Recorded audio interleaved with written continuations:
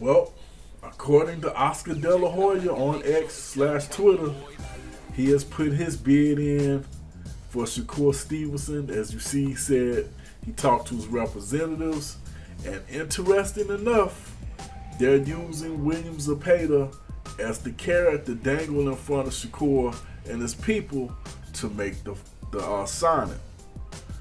Now, the messed up part about that, which I get it, but the messed up part about it, you're saying the Zepeda fight will only happen if Shakur signs with, with Golden Boy. Now, that's cool and all, but what happens to after the Zepeda fight? Who do you have left? See, in my opinion, that's what you need to be looking at. Who does these particular companies have for you to fight?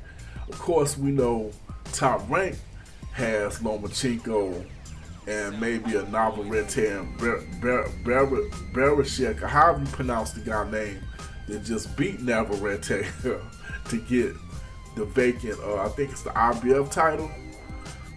Then you got Floyd dangling Tank out uh, to make the fight with Tank. If that's even possible, we don't even know if that to be true.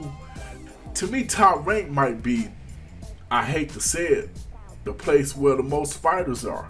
Because you still have guys like Abdullah Mason, you got um, Keyshawn Davis, even though he said he won't fight him. It's other guys coming up from top rank as well that he could line up beyond uh, 2024.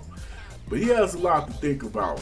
But to me, Golden Boy is probably the one with the least amount of options. And that's pretty much all I got to say about some boxes on Fight Doctor. Hit that like button, hit that share button, hit that subscribe button, hit that notification bell. Hit me up in the comment section. Let me know what you think. Which way should Shakur Stevenson go um, in his quest for for to be able to fight top competition?